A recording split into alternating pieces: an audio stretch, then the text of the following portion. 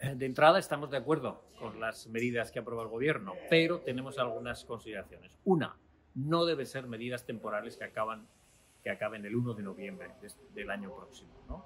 porque son medidas que responden, deben responder a la ola de calor y a la ola de incendios y al cambio climático, y esta es una batalla que nos va a llevar tiempo y tiempo y tiempo. Dos, eh, pensamos que faltan medidas. Por ejemplo, la que recomendaba recientemente la Agencia Internacional de la Energía, que era reducir 10 kilómetros la velocidad eh, límite. Eso permitiría ahorrar miles y miles de barriles. Tres, eh, hemos visto en la ola de calor que necesitamos viviendas más confortables. Entonces, para ahorrar energía y también para ganar confort en nuestras viviendas, necesitamos una gran ola de rehabilitación y de aislamiento de viviendas. Y necesitamos también que la ley se cumpla. En España hacemos buenas leyes muchas veces, pero con frecuencia no se aplican. ¿no? Y acabamos con dos llamamientos. Uno, a la clase política.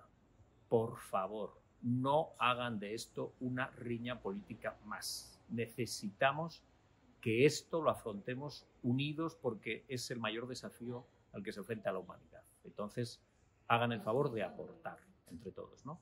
Y la último llamamiento a la ciudadanía, a nuestros eh, convecinos. Es decir, sabemos que va a haber gorrones, pero que sean una minoría la inmensa mayoría tenemos que aportar y tenemos que hacer lo que está en nuestra mano para afrontar este desafío global. Que los gorrones, que siempre los hay, sean los mínimos.